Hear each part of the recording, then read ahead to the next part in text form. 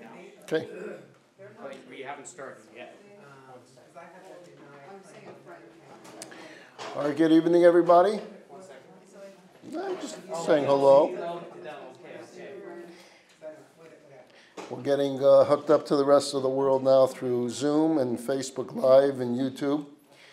Uh, we welcome those that are here live and in person. I appreciate your efforts of coming out. I'm ready. Are you ready? All right, Yeah. all right. Okay.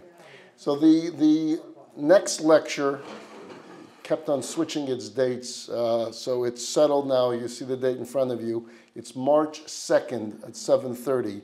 Uh, will be the last part of this three-part series that began earlier in the year. The topic for our next lecture is calling all heroes. Again, that will be Thursday night, March 2nd. So there was this fellow Abe Cohn and he went to a custom tailor shop to be fitted for a fine pair of pants. Comes back a week later, pants aren't ready. Comes back two weeks later, pants aren't ready. Three weeks later, still not ready. Six weeks, finally, his pants are ready. Six weeks. He tries them on and it fits perfectly. Nevertheless, when he comes to pay, he can't hold himself back and he has to just give a little bit of a jab to the tailor. And he says, You know, it took God only six days to create the entire world.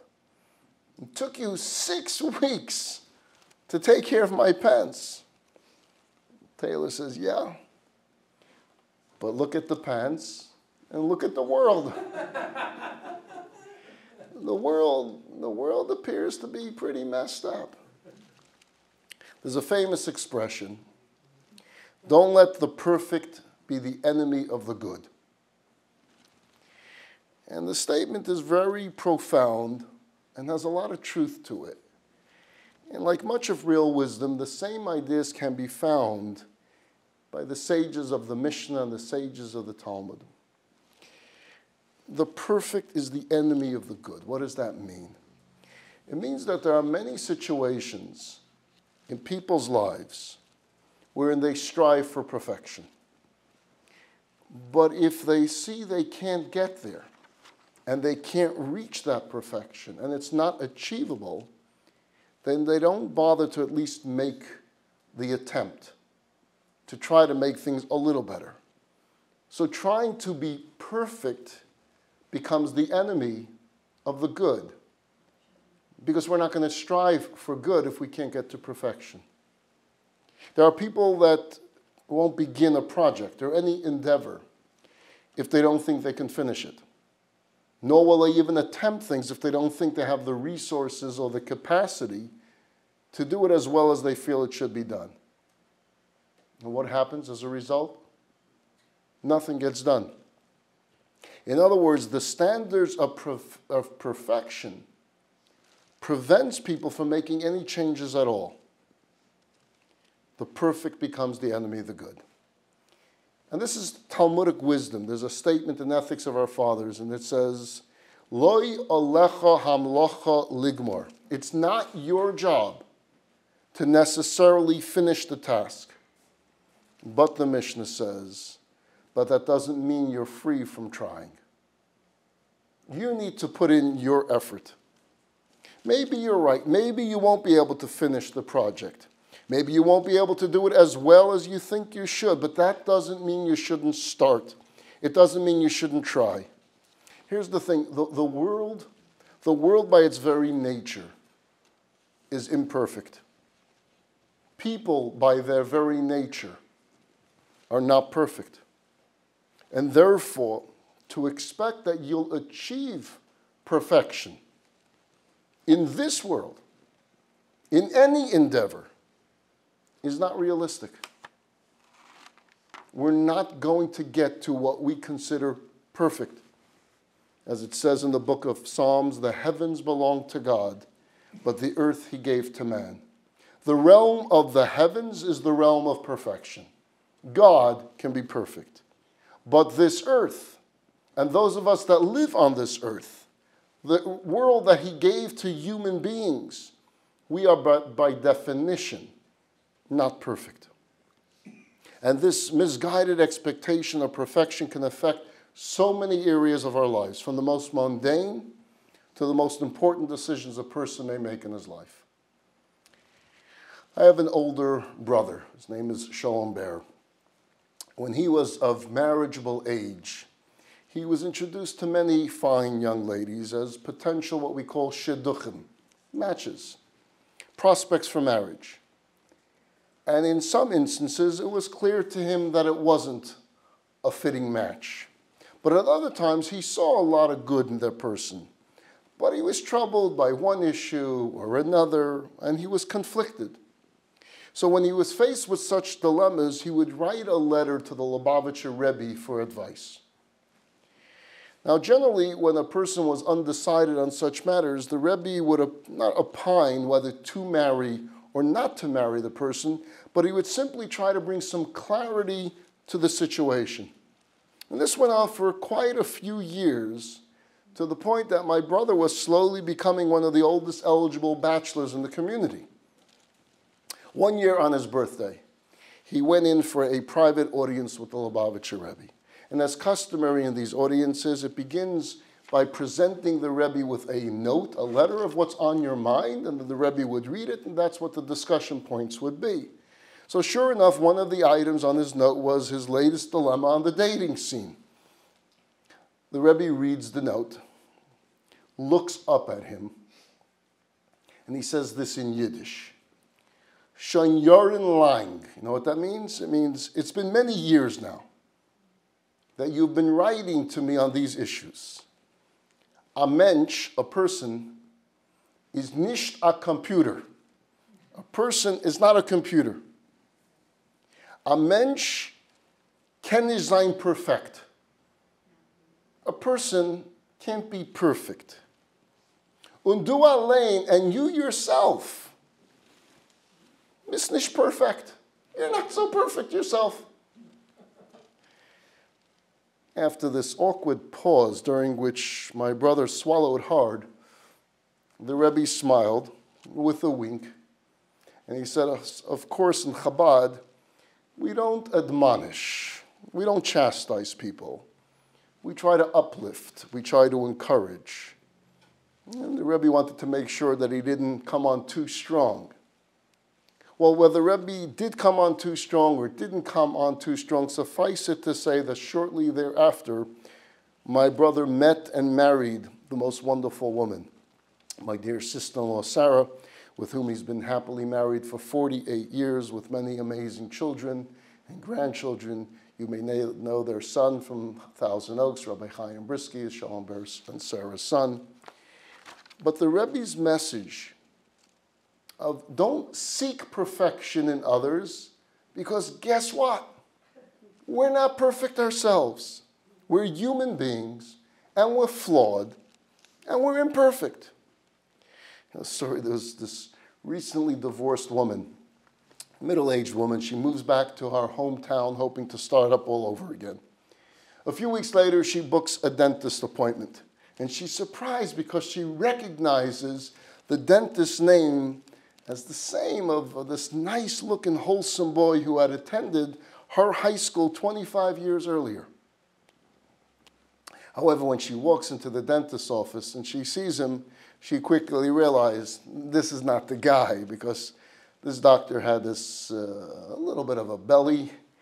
He was bald. The little bit of hair that he did have was gray. He looked much older than, than she did. No way is this the dashing kid from her days in high school. But nevertheless, as she was leaving, she says, By the way, did you go to Southridge High School? And he says, Yeah, I graduated in 1987. She says, Oh my gosh, you were in my class. To which he says, Really? That's interesting. What class did you teach?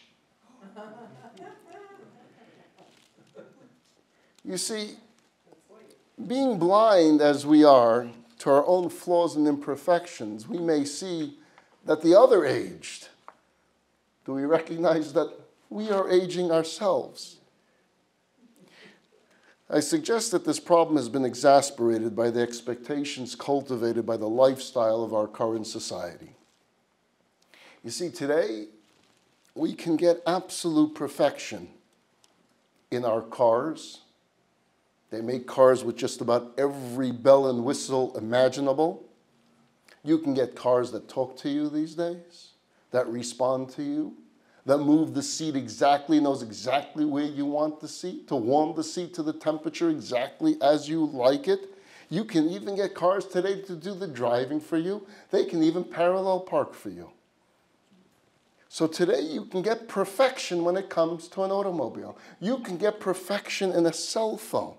Every feature you can possibly want in this little gadget you can order a pie of pizza delivered to your home at the same time ordering a washing machine while getting directions how to drive from here to Cleveland while buying stocks or selling stocks, all by pushing a few little buttons on your phone. In a matter of a few seconds, you can accomplish it all. And if you get tired of your iPhone 13, you can just simply upgrade and get the iPhone 14. And it's just going to continue perfection. We get perfection today from our coffee, right? You go into a Starbucks and you stand there and you say you would like a chai latte cappuccino, a shot of espresso, a spritz of that syrup, a half a spritz of that syrup. I want two millimeters of foam on the top. I want to make sure you got that little swirly heart floating around at the top, and it has to be heated to exactly 214 degrees Fahrenheit. And you would think the person behind the counter would say, You nuts! Instead, she smiles and she says, No problem, sure. And she gets it to you exactly the way you want it. So if your coffee can be perfect, and your car can be perfect, and your phone can be perfect, you start having expectations that your spouse can be perfect, that your friends can be perfect, that your children can be perfect. And as much as we would like those around us, our friends and our family and our children, to be perfect, they can't be perfect because they're human. And we shouldn't expect perfection from them. So, whether it's in our relationships or at our jobs or our personal aspirations or even our spiritual aspirations, we need to get away from the Starbucks and iPhone mentality of expecting perfection. The Medrash tells us a story about two different people. One person enters a study hall and he's excited about what he sees. They're studying, they're involved in the study of the Talmud, the back and the forth, so many legal questions. And he says, I would love to be part of this. So the schoolmaster says, Can you read the Hebrew letters? He says, No, I've never studied the Hebrew letters. So he says, well, you got to start somewhere. The first thing you got to do is be able to put the letters together. You have to understand the meaning. Why don't you study with the start with the five books of Moses, and you'll walk, work your way from there. You'll study the Mishnah, then you'll get to the Talmud. And the fellow says, I don't got time for all of that, and he leaves. Second student comes in, the same thing, all excited about the level of study. He asks the same question. He's told the same answer, and he says, okay. So where do I start? Got to start somewhere. Everyone has to start somewhere. The wise person, in order to get wise, you need to find a way to start. And today, in, in the study of Judaism, in the study of Torah, there is so much available for you. Just the advancement, just in the last 10 years alone. There is no subject that you may decide that you want to study that you can't get online. Every lecture on every subject is available to you. You can go on YouTube channel, you can go on this channel, on this channel. Everything is available to you. You can study wherever you live on the face of the planet at any time that you want. Think about it. It wasn't always this way. In order to study, you needed to live near an academy, near a place of learning, find out their schedule, hope that it worked with your schedule, Find a babysitter, perhaps. There were a lot of obstacles. You don't have those obstacles today. There is not a single subject under the moon in Judaism that you would like to study that you can't study at any time of the day or night, at any location in the world. So we need to start. Don't expect to get to the end immediately. It takes time to study. Pick a subject, pick something that interests you, and start. Don't try to be perfect. Just try to strive along. On New Year's, the year 2020, there was this incredible event that took place at MetLife Stadium in East Rutherford, New Jersey. 90,000 Jews came together, not to celebrate New Year's. They came together for the 13th Siyum Hashas. What is that? A celebration of the completion of the study of the entire Talmud through a program called Daf Hayomi. For those that may not be familiar with Daf Hayomi, it's a program that was started in 1923. Someone calculated the 2,711 pages of the Talmud. And he divided it by saying, What if you studied one page a day? You would finish the entire Talmud in seven and a half years. Seven and a half years, one page a day. And at first, a few people took it on. The next cycle, a few more. The next cycle, until now, where there's literally throughout the world hundreds of thousands of Jews studying this same page every single day. So when it came to the completion in 2020, they needed a large enough place to hold it.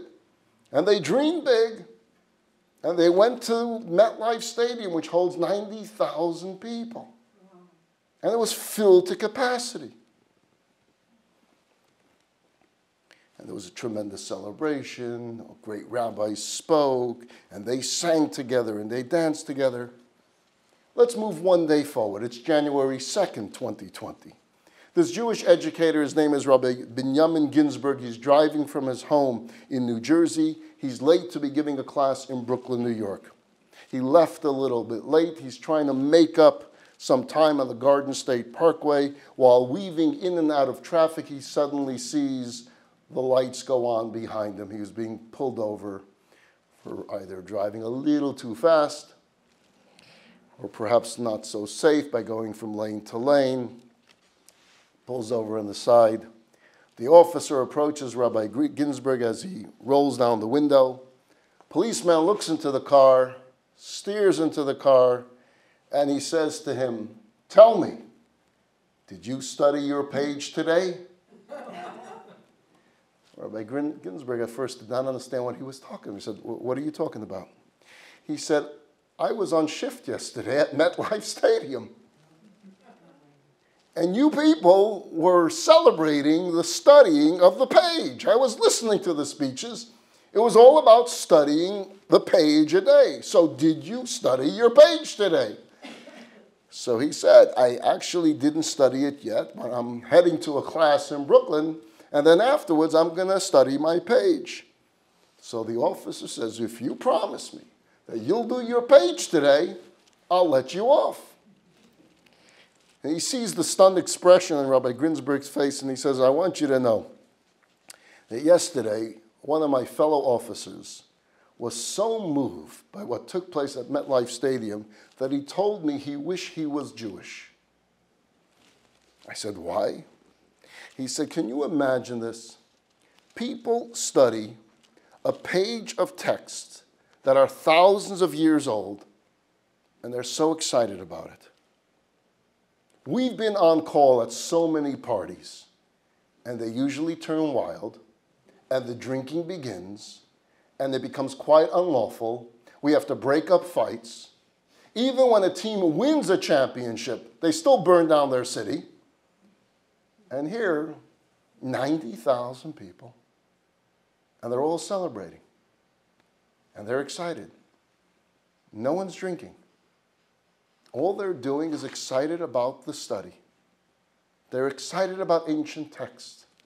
There's something so beautiful about that. And he said, You know, this place used to be called Giants Stadium, football team Giants. Today, this was a stadium of giants. This is indeed what we, when we immerse ourselves in God's Torah. And, and uh, we see it here when, when people of all backgrounds, of all ages, come together to study. Some people start studying when they're in their 30s, some in their 40s, some in their 50s, some in their 60s, some in the 80s. We have students that come here in 90 years old and they're coming to start studying because it's never too late. We're not striving to get to a perfection level. We're just studying for the sake of studying. Whatever we can do, we do.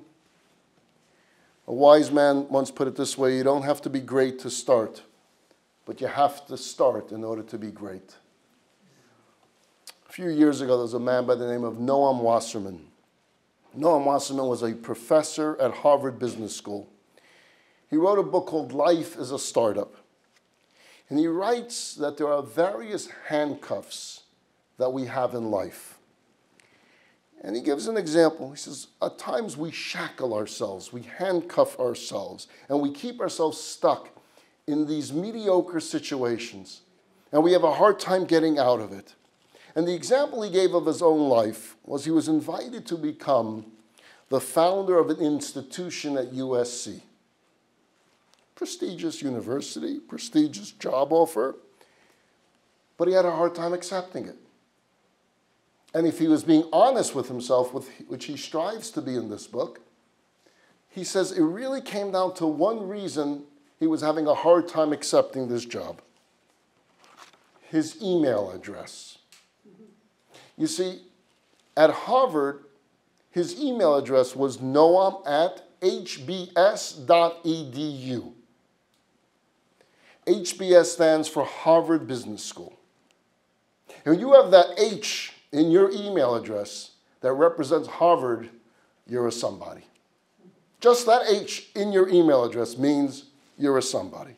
If he was to take the job at USC, his email address would be noam at usc.edu. Now, USC is nice, but it's not Harvard. And he struggled with this. Should he take this job or not? Over an email address. And one day he decides he's going to do it.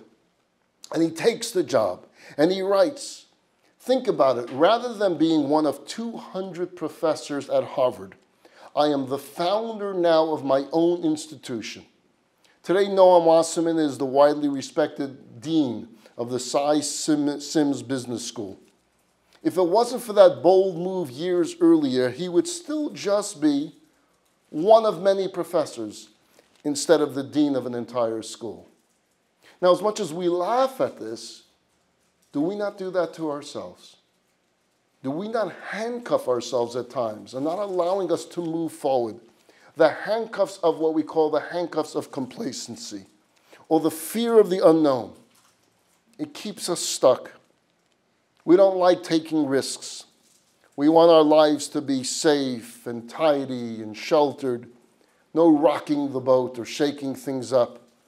I understand it's, it's a sound approach.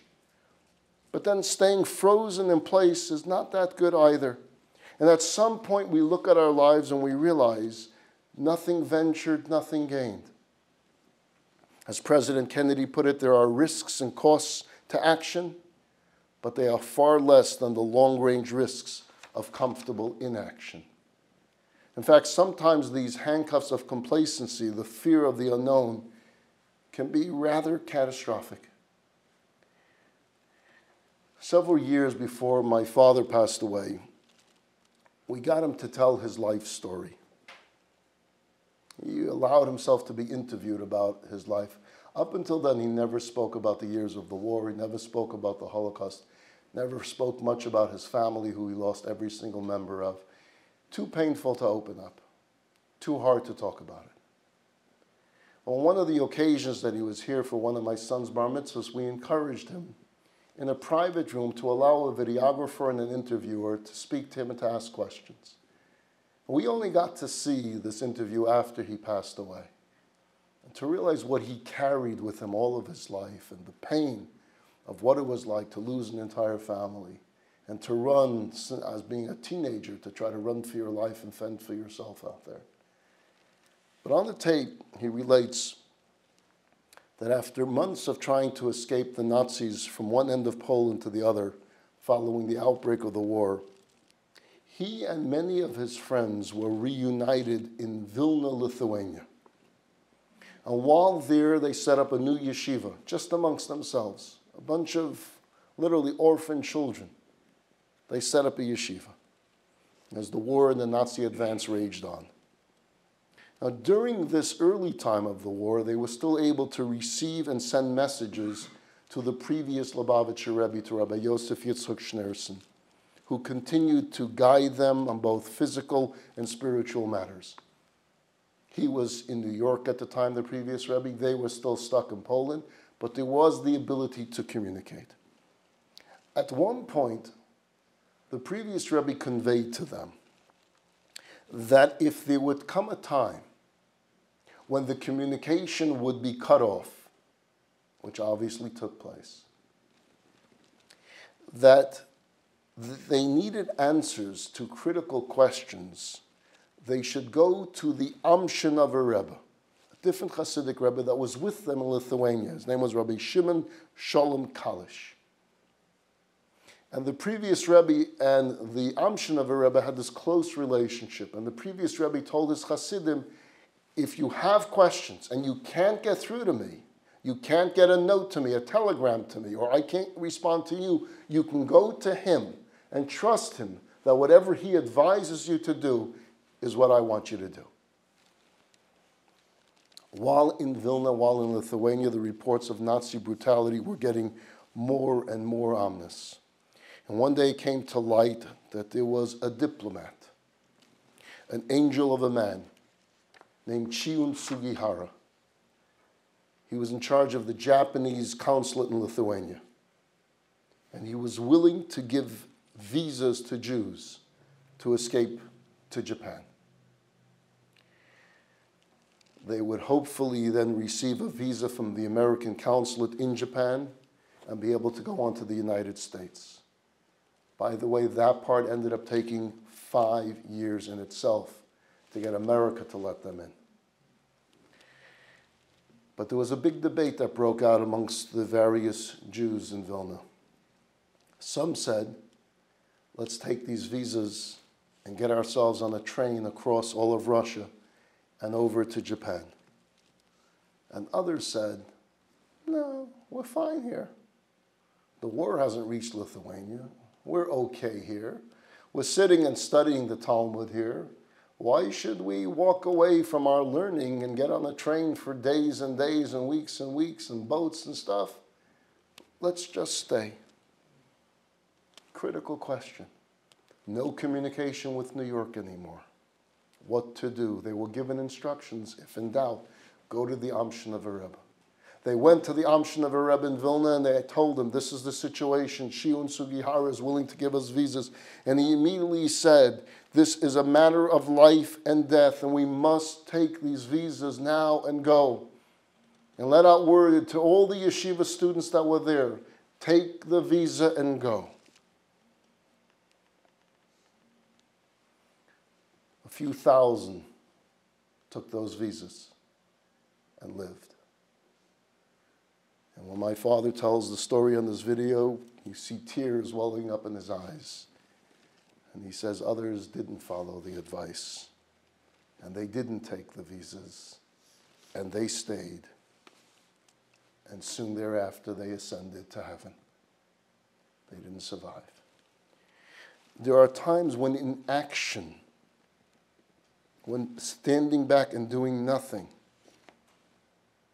can be quite catastrophic in our lives. There are times that we have to see the opening and we have to see the avenue and we have to make a move. Then there are the handcuffs of fear and the handcuffs of failure. We think if I start this, maybe it's going to fail. I don't want to have to swallow the bitter pill of failure, so best not to try. Even though you never know where things will go if you try. You know that Thomas Edison, the inventor of the light bulb, was once asked how it felt to fail a thousand times before he invented a successful light bulb. To which he said, I didn't fail a thousand times. The light bulb was an invention with a thousand steps. That's why it succeeded. I know the focus this week is on LeBron James catching up to the record of points from Kareem Abdul Jabbar. It's going on this week. He's going to soon pass the record and have more points than any other basketball player that ever lived. And so, all this debate of who is the GOAT uh, of basketball, the greatest of all times, is going on right now. But for us, from the earlier days, we all thought, and still think some of us, that Michael Jordan of the Chicago Bulls is the GOAT of basketball, the greatest of all time. So I would allow me to share a quote tonight from Rabbi Michael Jordan. He said this I have missed more than 9,000 shots in my career.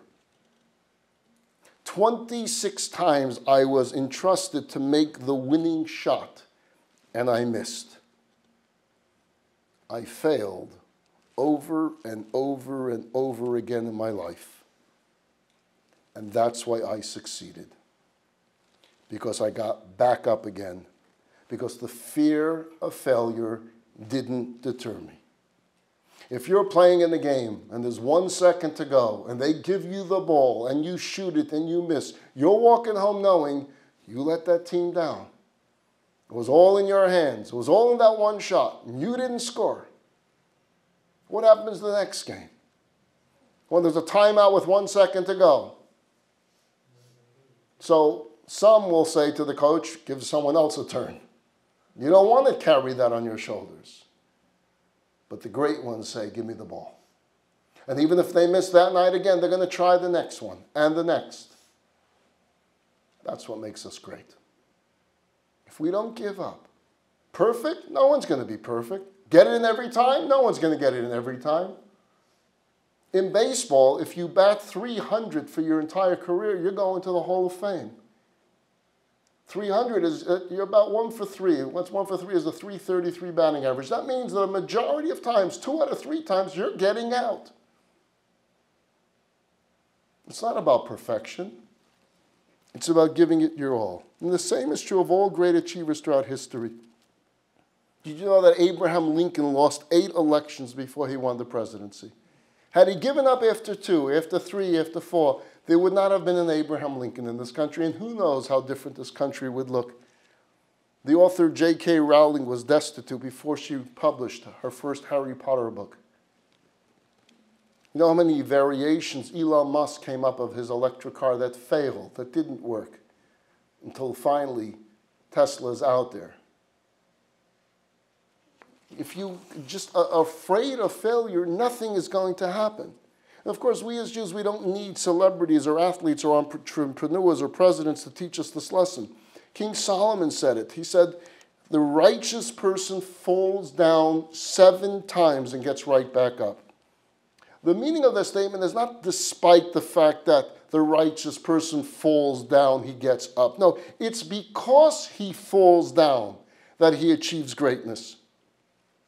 Because he then gets back up. The very process of failing and rebounding is the path to success and to righteousness. So we have to tell this to ourselves and we have to tell this to our children. Yes, there are challenges in life, there are defeats in life, there are setbacks in life, there are disappointments in life, there are moral and spiritual failings in life because we are imperfect human beings. But the trick is to bounce back and hit it again and again. The point is, don't allow yourself to be dragged down by yesterday's failures. Don't be frozen in space, in your place, because it didn't work the day before. Get up and do what you can do today, even if it's less than perfect. One author put it this way The imperfect book that gets published is better than the perfect book that never leaves your computer. Or a 20 minute walk that I do is better than the four mile run that I don't do. You know, you keep thinking I see these joggers and they could do nine miles, 10 miles, 26 miles. And I wish I can get there. I can't run a block. Oh, I, I can't do it because I can't run 26 miles. Well, maybe just start with a 20 minute walk. Because at least that you can accomplish. You can't do 20, do 10. You want to keep dreaming for the 26 mile, chances are you're not going to get there. Or as we've heard others say, a half a loaf of bread is better than no loaf at all. Now, we're familiar with the story of Joseph, one of the famous stories in all of the Bible. And you remember some of the details of that story. He was brought down to Egypt. He worked in the house of someone named Potiphar. Now, if you remember the story, Potiphar's wife has her eye on Joseph. The Torah tells us he's a good looking guy, he's a handsome guy, and she wanted to seduce him. So she tries every womanly wile to try to get Joseph to succumb to her advances. The Medrash relates that Joseph would say, I can't do this. I, I, can't do this. And she would come the next day and she would try again. And she would wear different clothing each day. And she would try different perfumes each day. And each day try to get him in some type of way to seduce him. This went on one day, one week, a month, a number of months. It keeps going on. And one day the wife of Potiphar comes to Joseph and she says, Listen to here. Listen to me, Joseph. You know, and I know, that you're going to break. No human being can stand up to this. You're a single guy here, and you must be hungry for this as well. And I'm pretty myself, and you want me. I know you want me. So give in already. Just stop. Stop postponing the inevitable. It's going to happen. So let's do it now. Joseph says, Mrs. Potiphar, you're right. I probably can't hold on too much longer, but I'm going to hold on for one more day. Just one more day. And tomorrow I'm going to try to hold on to one more day. And each day, my challenge is can I hold on just one more day to resist the temptation, not to give in to you? If I think long term, I'm like you. There's no way I can do this permanently. But can I survive one more day saying no to you? That I can do. And indeed, he doesn't succumb. He remains righteous all of his years in Egypt. And that's why Joseph in Jewish history goes down as Yosef HaTzadik, Yosef the righteous one, because his philosophy in life was I'm going to try my best. Perfection, I don't think I'll reach perfection. Caving in, at some point I will. But the challenge for me is today. Can I do this today? That's why he's called the righteous one. These are the lessons for us to internalize in our imperfect lives. Let's do what we can to strengthen our relationships, to learn, to grow, to become more spiritual, more Jewishly involved. Early on in our forefathers Abraham's career as the first Jew to walk the face of the earth, God says something very, very curious to him. God says to Abraham, Walk before me and be perfect. Be perfect. I just spent the whole time talking to you about we're not meant to be perfect. And here God comes to Abraham walk before me and be perfect. The answer is the operative phrase in that statement is walk before me. Your job is to walk the walk. Take those steps. And by virtue of walking, of taking whatever steps you can, you will be perfect. Perfect in my eyes. I will see you as perfect. You don't have to be perfect for me to see you as perfect. What you have to do is try. That's what I'm looking for. Walk the walk. Walk before me. You do the best you can. That's perfection for me, says God Almighty. You see, Judaism is about the process, not necessarily the product. It's about your effort, not necessarily your success. It's about your journey, not necessarily the destination. To be a Jew means Yisrael, one who wrestles and struggles with God. Aspiring and striving is what's authentic. Authentic spirituality is about striving, trying, putting in the effort. Not incumbent upon you to finish the job, but that doesn't free you from starting it. And it is this philosophy of not letting the perfect be the enemy of the good, of doing the best you can today, of always getting back and continuing the walk that enables us to rise to the heights of our potential and achieve real greatness. I'm going to conclude with one last story. Several years ago, was a young man by the name of Dovi Mandelbaum. He's walking in Jerusalem. He's heading to an apartment where there resides a rabbi. His name was Erez Mishakovsky. Erez Mishakovsky was the headmaster of a school that Dovi had attended many years before. Why was Dovi going to see his old headmaster? Well, there is a tradition in Israel and perhaps in other places that when you're about to get married, instead of mailing an invitation to the individual that inspired you most in your life, you hand deliver it. Dovi was engaged to get married, and in his mind, Rabbi Mishakowski really helped change his life and put him in the direction that he went. And therefore, he's bringing this rabbi, who he hadn't seen in years, an invitation to his wedding. He knocks on the door. Rabbi Mishakowski opens the door, immediately recognizes his student of years ago, and he says, To what do I owe the great honor of your visit, Dovi?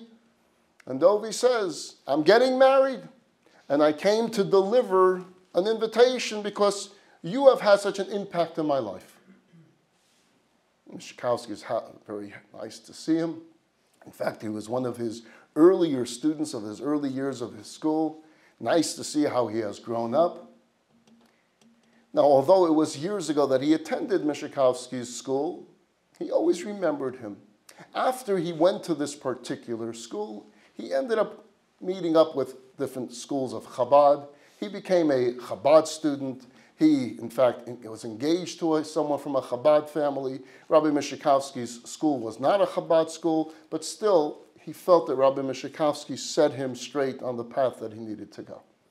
Rabbi Mishikovsky opens the invitation, takes a look at it, looks it over, and says, Wow, nice, very nice. I plan on being at the wedding. It'll be my honor to be at the wedding. He says, uh, I see the girl that you're marrying, the family, I see. She's from Chabad. And he says, uh, Yeah. And you, Dovi, you became Chabad too? Yeah, yeah, very nice, very nice. Tell me something. Do you know if your future mother in law ever visited the Lubavitcher Rebbe when he gave out dollars on a Sunday? Back to the background of this is for many years the Lubavitcher Rebbe on Sunday would stand outside his office, and anyone in the world that wanted to come see him would be able to line up, line stretch for blocks for hours. But you would have an opportunity to see the leading holy rabbi of our generation, to ask for a blessing that you needed for something in life. And in that encounter, the Rebbe would also give you a crisp dollar bill. And he would ask you to take that dollar bill and do something good with it. Give it to charity, give it to another person. So that when there's an encounter of two individuals, a third person benefits from it. That was the way the Rebbe thought.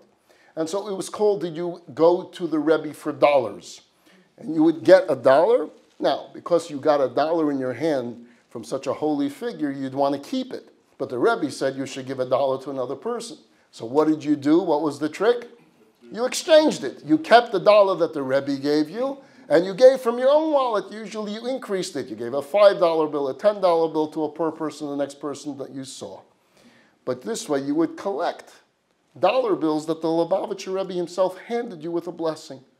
And people looked at that with tremendous value. So here's Rabbi Mishakowski asking this boy that's getting married if his future mother in law ever got a dollar bill from the Lubavitcher Rebbe. And if so, do you know when? he says, No, I never actually asked her this question. But you know what? The next time I see her, I'll ask her the question. I'll come back and I'll give you the answer. Very well, very well. The next time Dovi was by his bride's house for Shabbat, he asks his future mother, Tell me, did you get a dollar from the Lubavitcher Rebbe? And he sa- she says, Of course I did, yes.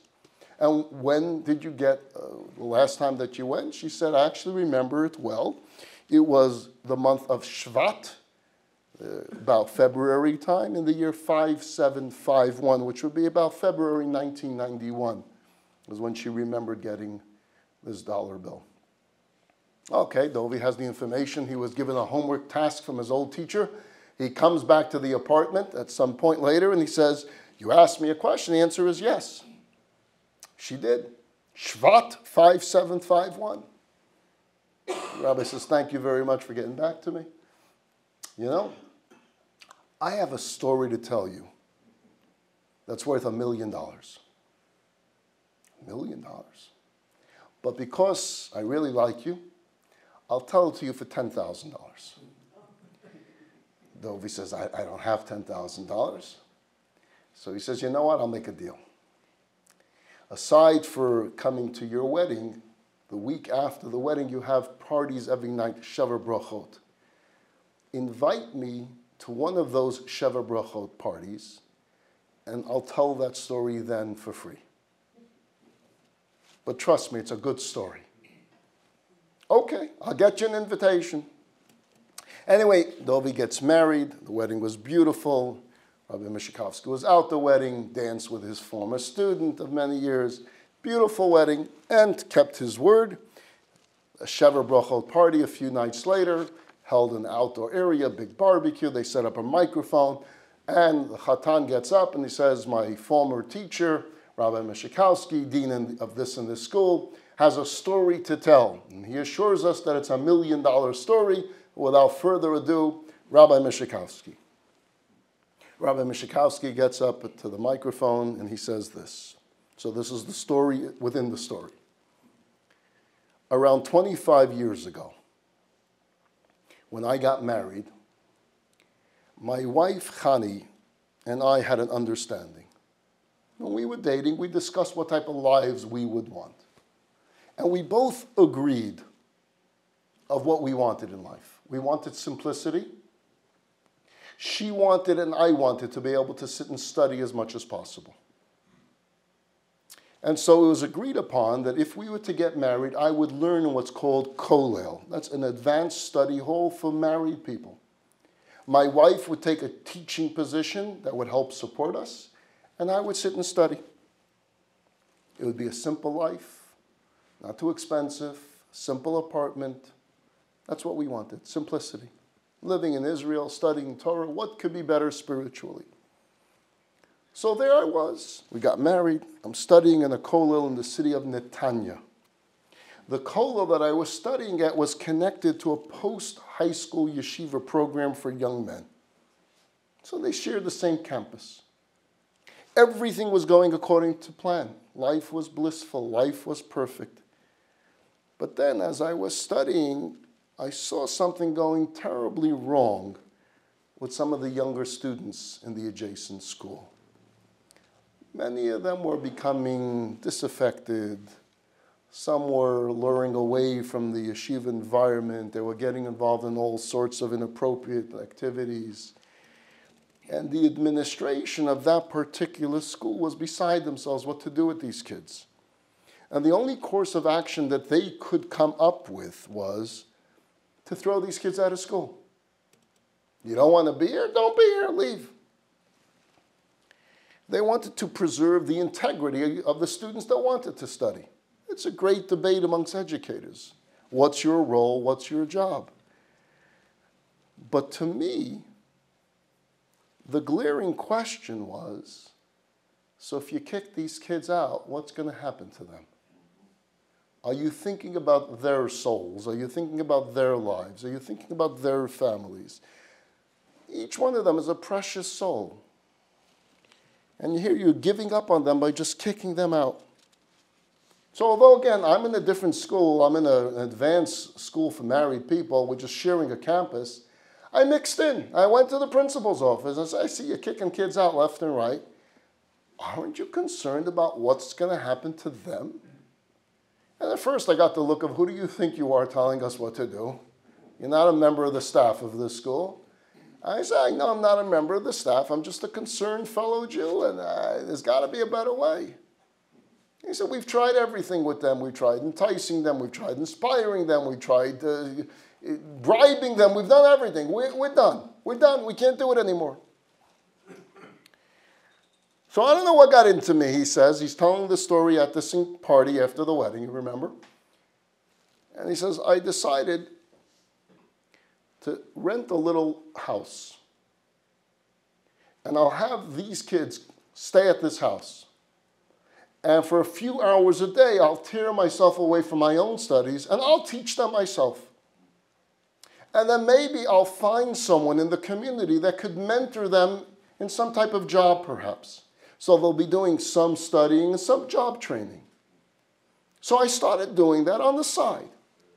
Then I needed to pay rent. That's a problem because I didn't have the money. So I started raising some money from some of the other families in the community. And then we picked up a few more, more students. And then it involved more of my time, and more fundraising, and more programming, and more teaching. Truth is, he said, I didn't have a clue what I was doing. I was just a simple guy, supposed to mind my own business, but I couldn't. And I just found myself torn in two worlds, focusing on the life that Chani and I planned out, and my guilt of seeing these Jewish kids perhaps going to be lost to our people. And at some point, I realized that my own learning and my own personal life has been thrown into disarray. Because the time that it was taking me to do this was starting to become full time. And as overwhelmed as I was for my dear wife, she felt, and rightfully so, I was in over my head, stressed out about having to raise the funds and keep the program going. And this is not what we agreed to. We mapped out our lives. We planned it out. We were going all to plan. What happened here? Don't get me wrong, he's telling everyone. She understood how important the work I was doing was, but, but why you? We, we had a deal. Everything we planned is gone. And it was causing tremendous inner turmoil and a rift in our marriage. And one day I realized that it can't go on like this. I had to resolve one way or another how I'm going to proceed in my life. Either we're going to be together, my wife and I, and say, This is what we're doing, or I'm going to have to leave it all, hope someone else fills my shoes, and go back to the quiet life of sitting and learning, studying myself. But I can't do both. It's not going to work. So I said to my wife, Chani, I'm going to take a day off tomorrow. You take a day off tomorrow. Let's just go out. We'll have a picnic somewhere. We're going to talk through life, and together we will make a decision. We'll do it together. And whatever we decide, we both go in completely. If we decide I'm leaving this and going back to the study all day, then that's what we're doing. If we decide that I'm doing this, we're doing it together. But we can't go on like this anymore. Chani agreed. Next day, we both took off from work. We're going to have a picnic.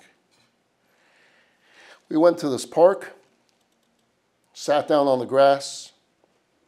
It was right next to this natural pool of water and the pool of water was being fed by a waterfall that was coming from a higher level in the park. So there's water coming down from a higher level, a waterfall into this beautiful stream that's near us. I'm facing the water. Chani has her back to the water. And I'm trying to think, okay, so what do we do now? This is a great idea that we have this picnic, but like, how do we begin this conversation? And where are we going with this?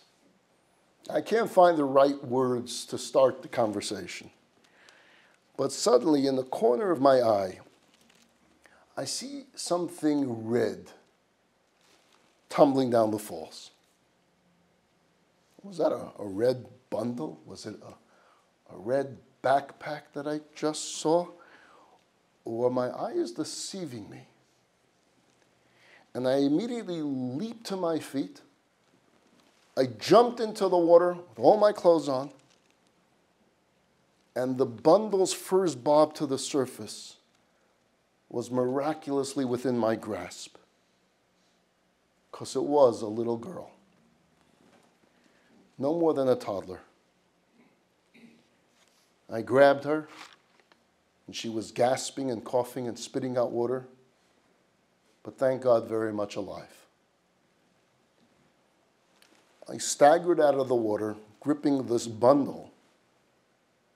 I was very shaken. The child was terrified, of course. Chani saw this happen like so quickly. I just ran and jumped and coming out with a toddler in my hand. She put the blanket around the baby, calmed the baby. And we realized that this whole thing happened so fast that the child's family must be playing on the top part of the park and never even realized that the toddler is missing. So we began the trek to the upper terrace of the park. Me in my sopping wet clothes, holding this red bundle. We get there and we immediately see that there's this large family spread out across a number of blankets, lots of kids eating and talking and laughing and enjoying themselves. And clearly, still at this point, no one had an inkling that this little girl dressed in red wasn't amongst her siblings and cousins. As I approached them, I didn't have to say a word. Everyone stared at me in horror, transfixed, unable to say anything. The child's mother sees the scene and becomes hysterical. She suddenly grasps the enormity of what just took place. And she began shrieking. As words started rushing from her mouth, she pulls the child from my arms, holds her, kisses her, and begins to cry. And she starts thanking God and thanking my wife and thanking me. How can I ever thank you? How can I ever thank you? She kept on repeating over and over, How can I ever thank you? And suddenly she calls for someone from her family to go to her car and to fetch her purse. And I immediately said, Stop. I'm not taking money for this. Don't, don't, don't bring your purse here. And she reaches for her purse and she takes out a single American dollar bill from her wallet and she wants to hand it to me. Lest anyone think that her intended reward for my act of heroism was one single dollar, which is about four shekel, she quickly explained that this was no ordinary dollar bill. She was giving me the most precious thing she owned a dollar bill given to her by the Lubavitcher Rebbe himself. And I repeated again that I didn't want any rewards for this. I simply did what anyone would do, what I was supposed to do. And she kept insisting that I take it. And finally, I said to her, Listen, you're a Chabad family. To you, this dollar bill that was given to you by the Lubavitcher Rebbe is the most precious thing you have. I'm not a Chabadnik. I'm not even a Chassid. To me, the dollar is a dollar. It doesn't have that value. You should keep it. it. Doesn't make sense for you to give that away. The one that sees the value in it should be the one to hold on to it and to keep it. At that point, she gave me this look that only a Jewish mother knows how to give. And she said to me, You take this dollar. You take this dollar from the Rebbe. And I promise you that it will bring you clarity, it will bring you peace, and it will bring you blessings. And it will bring strength into your life. And with that, she just put that dollar in my hand. Remember, Rabbi Mishakovsky is telling this story at the Sheva Brachot party that he asked to be invited to. As he reaches this point, he reaches into his pocket and he pulls out this crisp dollar bill from his coat pocket and he shows it to the audience. And then he reads on the dollar bill that it says, from the holy Admor of Lubavitch, from the Lubavitcher Rebbe, dated Shvat 5751. Other than Shabbat, this dollar bill is with me all the time, he says to the audience. Now, you may think that I was the savior of that little girl. But that's not the full story. You see, what brought my wife and me to the park that day was a last ditch attempt to find an answer to our dilemma. When that baby fell into that waterfall, it became clear, the answer was clear to us that my mission was to devote myself to saving lives. That was the answer. And the fact that the response to my action was to be given a dollar bill from the Lubavitcher Rebbe, who devoted his entire life, his entire leadership to bringing Jewish souls back to their roots, served to reinforce what my path must be. My calling was to save others an unmistakable sign that tumbled from the heavens along with a dollar bill from Brooklyn was attesting to this. Here is your answer. And because of that life altering moment, we packed our bags, we moved from Netanya, we moved to Jerusalem, and we opened up a yeshiva that year for boys who needed a different approach, who couldn't handle a full day in yeshiva who needed a few hours of this and a few hours of that. And today's groom, Dovi, he was from our first students. As for today's bride, I must say that it was so nice to see you at your wedding wearing a white dress instead of the red one you were wearing the first time we met. Everyone at the party sat stunned in silence. The bride's mother wiped her tears and said, and Kavod Harav, honored rabbi, it's nice to see you in dry clothes rather than the soaking ones you were wearing the first time we met. Ladies and gentlemen, perfect lives, perfect lives is a myth. It doesn't exist. Not in this world. Perhaps when Mashiach comes, when the Messiah comes, God willing, soon, we'll revisit the question of perfection. But until then, let's focus and truly meditate on this one simple statement of truth. Life doesn't have to be perfect to be wonderful. We each go out, we each do what we can. We strive to do the best we can, not for perfection, but within our abilities. And we will find that miracles will happen miracles for others and miracles for ourselves. Thank you very much for joining me.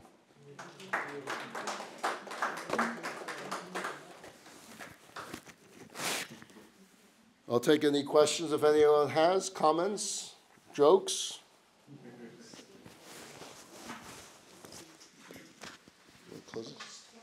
Very, very nice. Thank you. Right, next one again is March 2nd.